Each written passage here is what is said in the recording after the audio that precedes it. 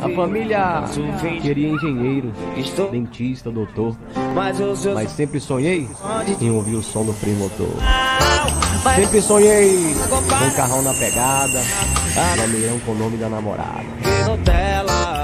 Sempre sonhei em amanhecer o dia viajando, seja lá sorrindo ou chorando. Mas sempre sonhei o tapetão tá apavorando. Já perdi muitos amigos.